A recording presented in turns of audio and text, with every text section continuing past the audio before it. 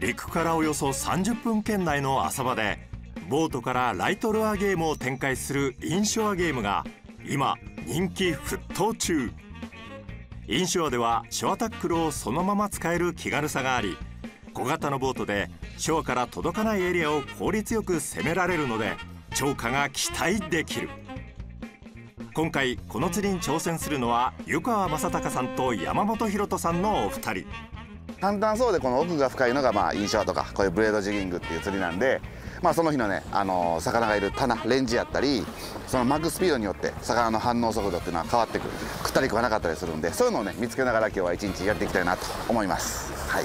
イショアのエギングっていうラインでね流されてない船でアンカー打って固定されてできるっていうのはショアと同じ感覚でできるからこれは釣れなくても釣れてもやっぱりチャレンジしてもらったらちょっとこう届かない距離にできるからやっぱり取れなかった人が取れる確率っていうのはすごい上がると思うからね。ぜひともやってほしい釣りやなっていうふうに思いますね。釣り場に困らず自由に攻める。昭和感覚で楽しむボートゲーム長考。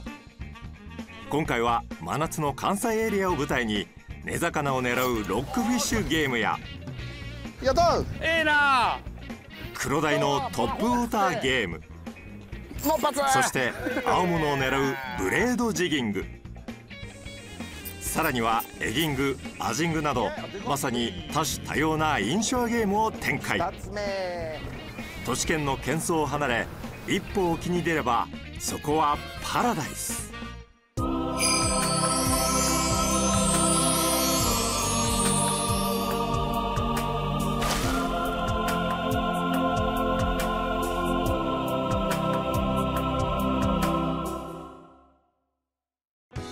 台は大阪湾。印象ゲームは都市圏に近いマリーナや港などアクセスの良い場所から出船でき手軽に利用可能だ。時刻は夕間詰め。早速ボートに乗船しマリーナから15分ほどのストラクチャーポイントへ移動。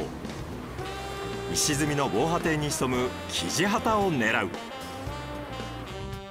山本さんのロックフィッシュゲームのタックルはこちら。印象から海底のストラクチャーを狙う感度の良いベイトタックルを使用。湯川さんは多種多様な印象ゲームにマッチする操作性の良いスピニングタックルで挑む。ライフジャケットは必ず着用しよう。印象はロックフィッシュゲームの幕開け。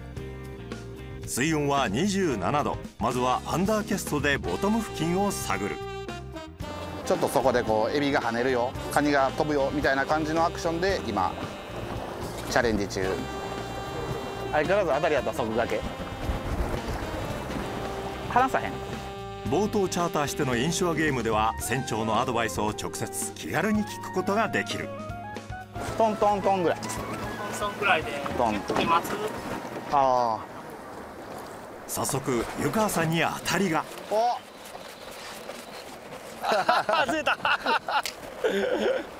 開始早々岩礁地帯のボトムにワームを丁寧に這わせていくと。おおよし。よしふうふうウィー。来た本命ですね開始3分湯川さん本命キジハタをゲット。幸先の良いスタートだ。よし行きますね。はい。ありがとう。ほい。ずるずるボトム引きずる感じで。でちょっと浮かしてトンっていく時にガツンって食ってきたんですぐ合わせましたね。いい感じです。風がな。竿上げられへん風で。そうよ。かなりなこれ横で引いたら引っかかりそうやな。爆風や。ここでリールを変更。スピニングに変更します。風がちょっと強すぎるんであの糸をこうなんていうかなベイトタックルで動かしてたるます時にたるみすぎて糸引っ張られるんですよ。だからちょっとスピニングにしてスイミング意識スピニングタックルに変え風によるライントラブルを回避し軽い仕掛けでもキャストをしやすくする。おしゃおしゃおしゃおしゃおしゃやった。こいつは走っていったよ。やった。やったぞ。やっぱりスピニングだぞ今日は。ええんちゃん。間違いなく。ええんちゃん。いやえっとねアゴややんかアゴやんか。本命かでわいいぞ。山本さん目に潜るような強い引きに耐え海底から本命キジハタを見事に引きずり出した。かわいいですね。いい色してるしあこうって感じ。目標40オーバす40欲しいな。欲しいですね。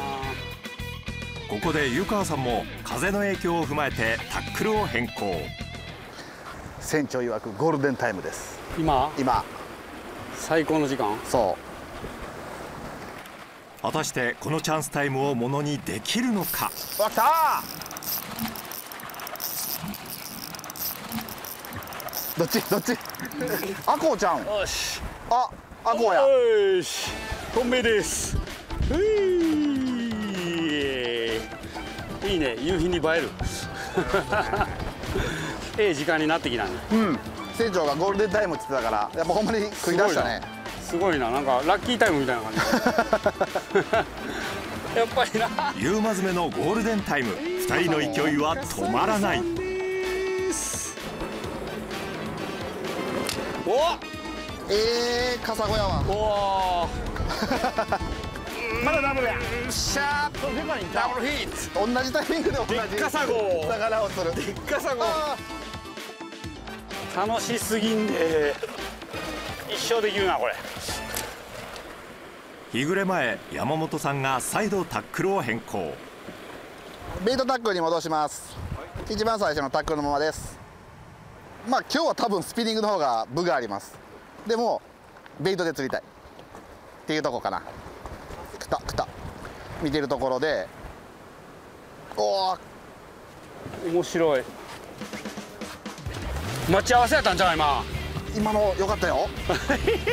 でかいんじゃんちょっといいんちゃうかな。やったか？お？おでかい！でかい！や サイズアップした。当たりエグかったもん。これはちょっとフィッシュグリップ。江川さんフィッシュグリップ貸して。サイズアップだ。ありがとう箱こんなん来るから楽しいですよね。まあ30ちょろぐらいですかね。おもろやったな。おもろや。お元気元気。ほい。元気に帰ってきました。夕景から夜景に移ろう景色を楽しみつつ竿を大きくしならせたのは湯川さん。よし。来た、でかいんじゃん？いや。よう引くけど。でかいや。でかいや。ういおおおいた 関西ではアコウと呼ばれている見事なサイズのキジハタをゲット。やったー！やったー！話しますね。はい。ありがとう。今のはえっ、ともうボトムにこれトンってつくじゃないですかでもそのまま竿を水平にゆっくり引っ張ってもう本当に低いちょっとだけ持ち上げてストンって落としながら落としながらっていう感じで丁寧に丁寧にねそのそこを感じながら攻めてたらズンって持ってきました。いや大満足です。小気味よく当たりも出て結構ねこうたくさん釣れるんですけどやっぱり釣り人って釣れたらねあの結構美味しい魚って持って帰りたくなっちゃうなっちゃうんやけど。だけどそれでもやっぱりねあの必要以上にっていうのはねやっぱ食べる分だけ取ったら保護するためにもねやっぱりリリースっていうのは大事なことだと思うんで。この日の印象ゲームは終了。上々の出来だった。大阪湾真夏の印象ゲーム長考2日目。早朝のマリーナに2人の姿があった。おはようございます。おはようございますえー、2日目です、はい。今日はねえー、とブレードジギングを、あのまあ印象で湯川さんにやってもらったあのちょっとこう沖まで行くようなちょっとブレードジギングを試してもらおうかなと思ってます。楽しそう。ね。でメメインターゲットが、うん。えーまあ、サワラ、で、えー青物、で、えーマダイぐらいかな、っていうのを狙ってきますただねちょっとこう海の状況は良くなくて餌がすごい少ないので、まあ、なんとか一本顔見れたらなっていうぐらいの気持ちで行ってめっちゃ釣れたらめっちゃ喜ぶみたいな感じでそこですね。はい。そうなったらいいなと思う感じで頑張ろうと思います。はい。まだ暑いと思うんですけどちょっと今日もよろしくお願いします、ます。この日は山本さんが得意とするブレードジギングゲーム。サワラなどの合うものがメインのターゲットとなる最初に訪れたポイントは神戸エリア。水深27メートルの沖合からスタート。えーとね、場所は、えー神戸沖ですね。神戸沖。はい、えー本来やったらこうサワラがいっぱい入ってるタイミングなんですけどちょっと今年は遅れてるんでちょっと魚少ないかな餌が少ないかなっていう感じの状態です。今回使用するルアーはブレードジグ飛距離と高いレンジキープ力を両立するルアーでサワラを狙う。ジグに、まあ、金属のブレードがついててあの巻くとねこの後ろのブレードがくるくる回って魚を誘うっていう感じ。2人が使用するタックルはブレードジギング専用ロッド。超高速リトリーブ中もルアーの動きを安定させ正確なフッキングや大型魚とのファイトに耐える強靭なタックルを使用湯川さんも色違いのブレードジグを選択。ブレードジギングに求められる高速リトリーブ。ターゲットの捕食行動を本気にさせる攻めのスタイルで誘う。もう本当にあのね投げて底取って巻くだけ。それだけで魚が釣れてしまう。でまあボイルとかあのあんまりこう巻いてて上で当たるようやったらあのそこ取らずに巻くこともあります。基本はまずそこ。をサワラがもうバンバン跳ねてるような状態やったらこう上の方も狙いますけど。そうじゃなかったら結構やっぱ底の方にいるんで。インシュアに向くブレードジギングロッドの特徴について山本さんに伺う。こうジギング用みたいにこう胴から曲がる全体が曲がるわけじゃなくてでもキャスティングボートキャスティングの竿みたいにこう先調子でもない先だけ曲がる竿でもないっていう感じですね。でグリップの長さもすごい考えられててまあ投げやすい長さと魚がかかってからしっかりこうファイトができる脇に挟んだり胸に当てれるような長さを計算して作ってあります。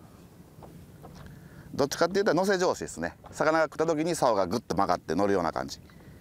あまり硬いとねトンって弾いちゃうんで。巻いてても楽楽なんですよ。竿がしっかり曲がってくれるから。あんまりピンピンしてる竿じゃないんで。でもしっかりこうその竿に合ったグラム数のルアーは投げれるっていう感じですね。本当にこんなこうなんていうかな街が見えるとこ車が見えるようなところでまあメーターオーバーのブリとかメーターオーバーのサワラっていうのも全然来るんでその不意のものにもしっかり対応できるようにしっかり投げれて、まあ、極力トラブルレスな、まあ、ガイドセッティングであったり曲がり方っていうのを考えて作って本当誰が使ってもらっても投げれる。誰が使ってもらってもこう大きい魚とファイトできるっていう使いやすい竿。ここで移動を選択。ボートの機動力を生かし潮目のあるポイントを探る。ああ。シャラシャラ言った時はもう表層マコお跳ねた。どこ？前右前。ヒトの右斜め前。マジ？うん。場所を変えてみると早速ナブラを発見今なんかついてきたで。ついてきたで今。ブレードジギングではリールを巻く速度が超過の鍵を握る。いやあのね逆にこう青物とかサワラがこう混じると意外と遅いと青物が先食うんですよ。なのでサワラだけを狙いたい時なんかっていうのは早く巻いたりとか、まあ、こういう潮がない日でこうボーっと泳いでる時なんかはこうスピードでスイッチ入れたり結構やっぱ速いスピードって結構海の釣りで大事でルアーって。その日の当たるねスピードさえ見つければっていうところもあるんでそういうのを探しながら速い中でもこう速度を変えていくみたいなイメージですね。結構止めると見切るんで。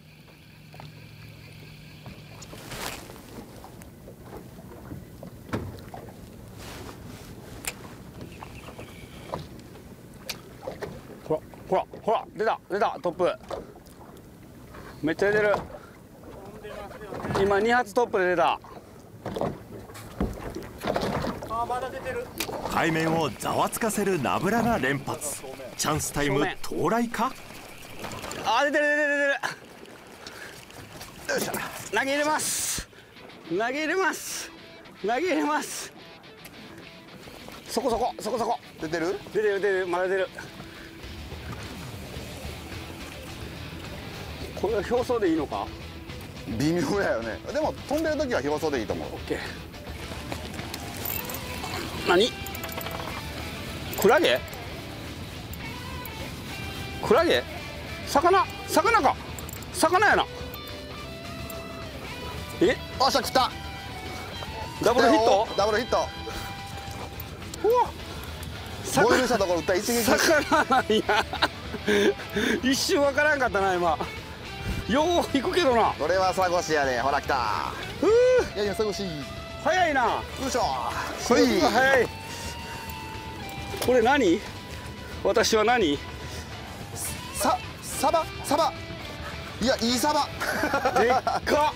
いいサバ。ダブルヒット。やったぜえブレードジグを投入しひたすら巻き続け執念のダブルヒット。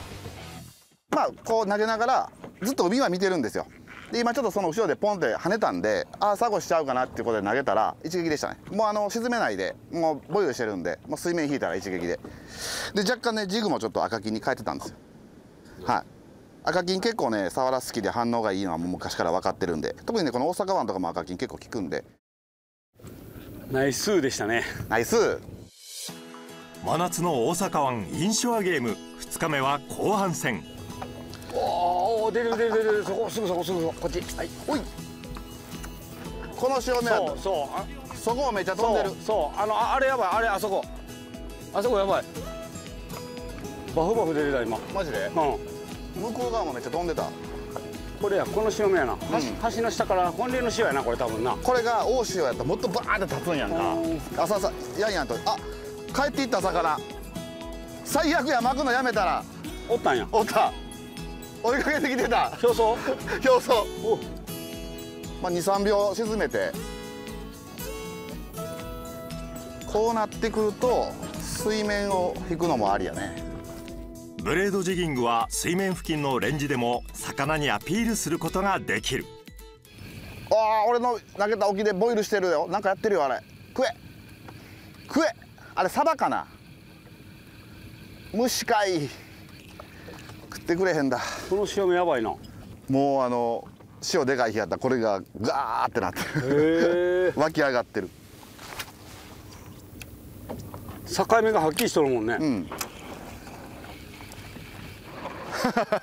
おあ食った。ああ食ったのに。今の何サゴシ？うん。うわあ。気抜いてもうた。よそ見してたもんね。ああ。2回バイトしたけどな今。今追っかけてきて当たっただけでこんな感じです。ほらね。これ。ここわかる？わかります。傷。要チェックせなあかんねこれ結び替えね。一回当たったらいやーもったいなかったな今の。湯川さん痛恨のバラシ。あー当たった。食った。おい食いや。あいける？いけるこれ投げてもいける？大丈夫？大丈夫。山本さんナブラを狙って見事にヒット。ナブラ入れたら一撃っすね。俺食ったのに今。外れた。一回当たって外れてもう一回食った。やる。おお左向いて走ってる左向いて走ってるだよ。サイズアップしてるやんか。おお大きい大きい。おしゃくったおしゃくったあーしゃくったあーし。止まらんあーし。ゃしゃしゃしゃしゃし。ダブヒめっちゃくね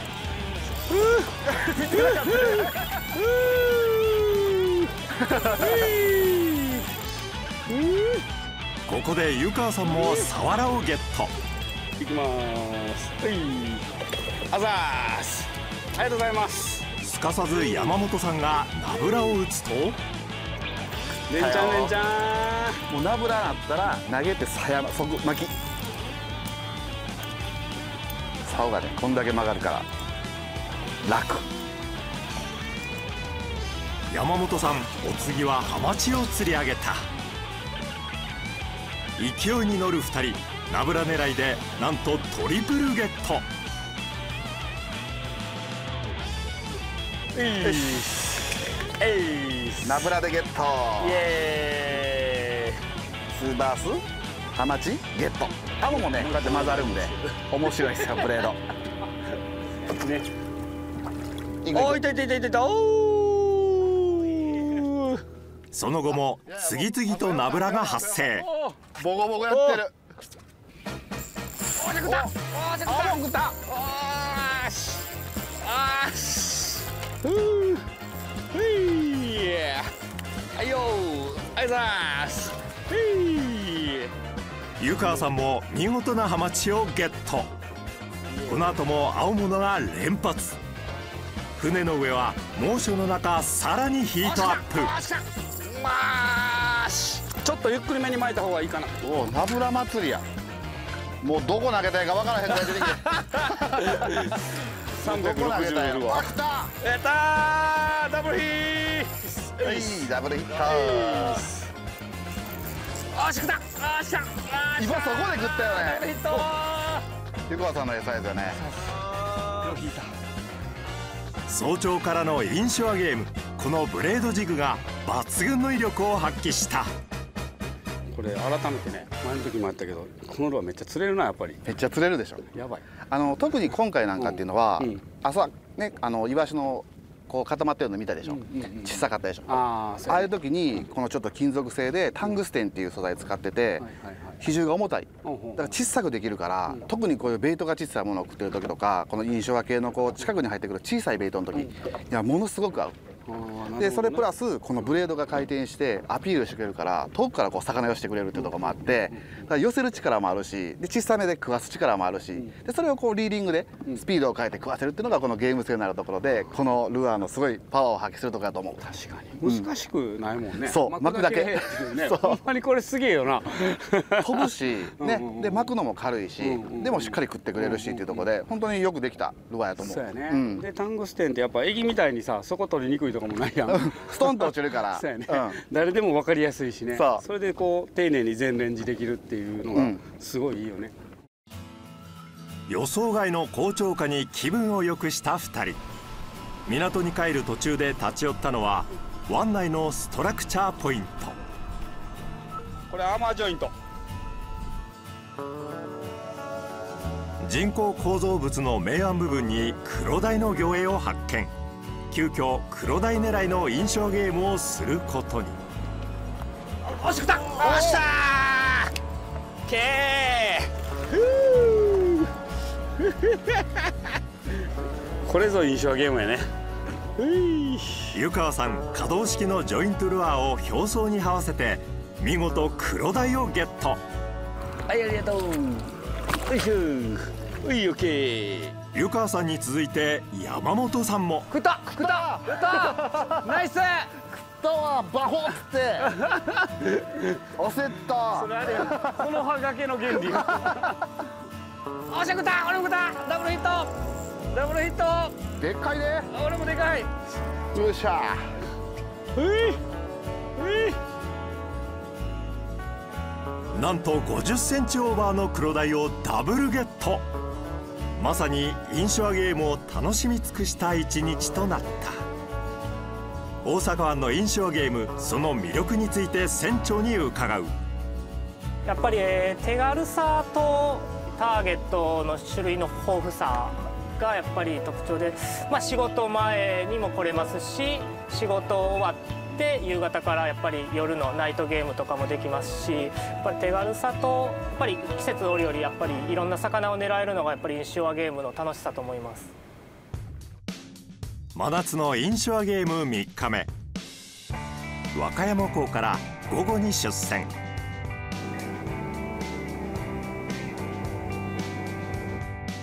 最初のポイントは湾内のシャローエリア。とりあえずあの港から、はい。えー10分足らずでそうですね。早かった。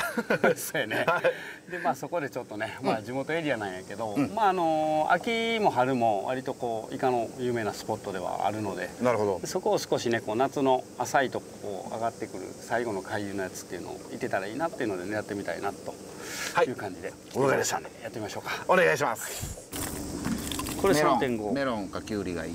メロンが緑がいいの、えーっと去年ロッドワイト 79ML まああのボートからキャスティングもしやすくてでおかっぱりでもまあ使えるっていうタイプのやつですね。で ML っていうのはまあ柔らかからず硬からずっていうところで、まあ、引きをしっかり楽しめてエギの操作ができると。小さいエギから大きいまで動かせるんでね、えーリールは 2500S のタイプに、えー P ラインが0.65に。でリーダーが、えー3号入れてます、はい、でエギは3.5号のノーマルからスタートします。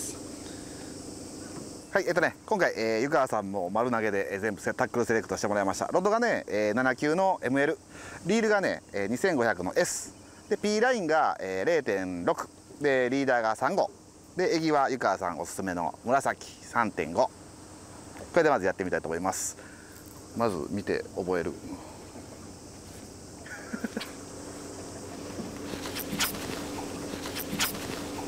シュンシュンやねシュンシュン。湯川さん完全底取る感じ？うん、あのもう底付近でいいと思う。底付近。あの夏場で水温高いんで、割と浮いてることの方が多くてこの時期って。うん。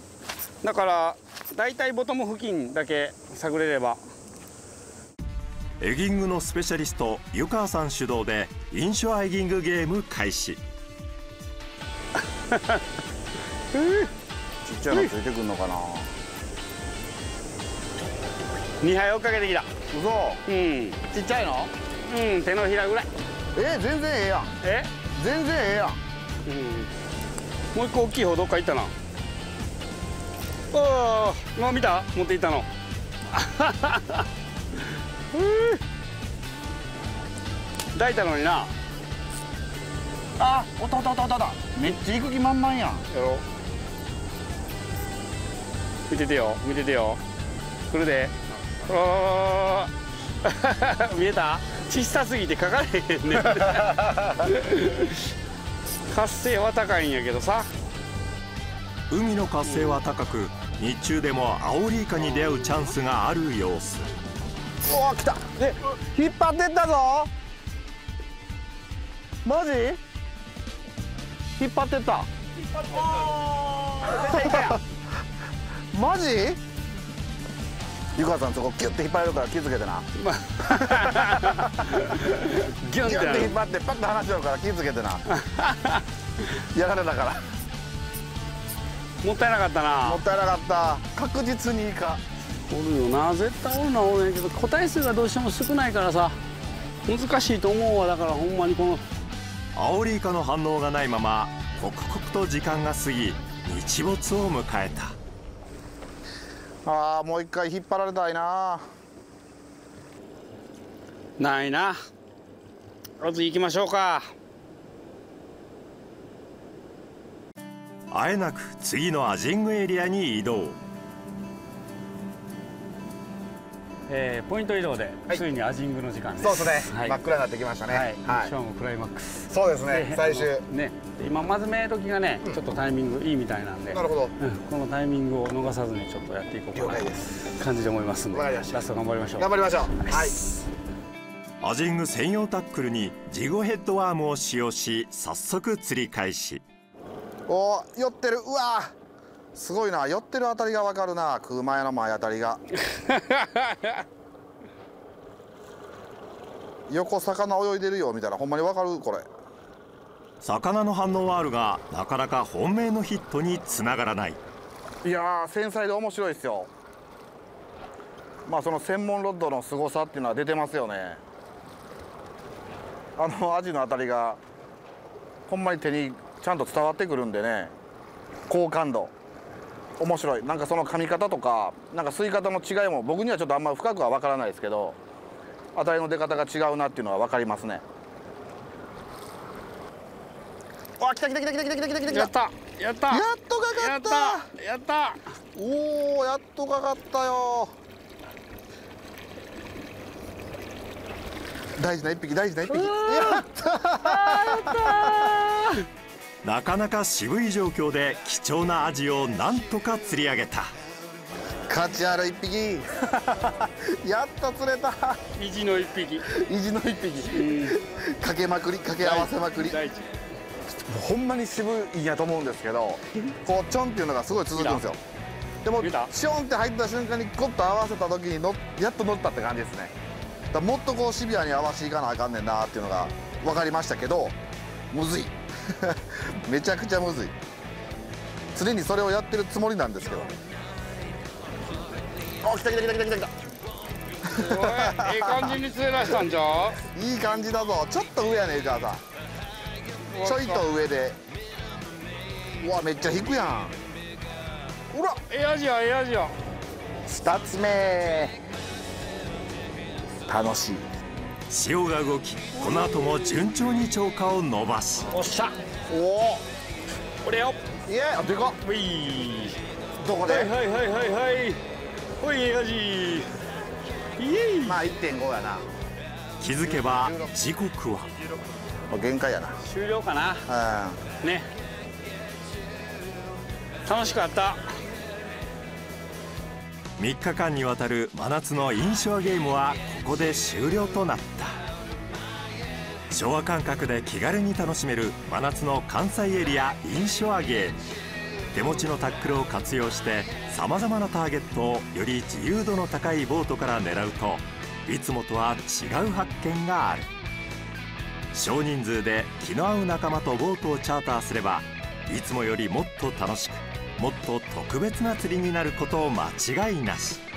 まずは海に出て体感することがスタートだ。